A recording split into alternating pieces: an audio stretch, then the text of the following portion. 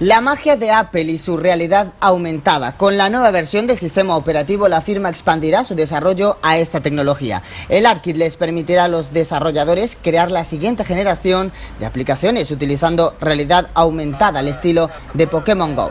Los desarrolladores que ya están jugando con ella pueden hacer cosas como estas que estamos viendo.